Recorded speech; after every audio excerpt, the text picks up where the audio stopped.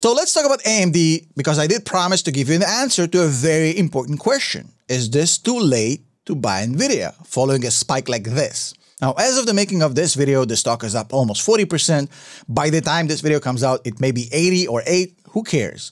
Let's look at AMD from a fundamental perspective. And there's no better way to do that than Stock MVP, stock-mvp.com, a software I built specifically for this to analyze stocks, break it down to the bare fundamentals, and see if it's shit or legit.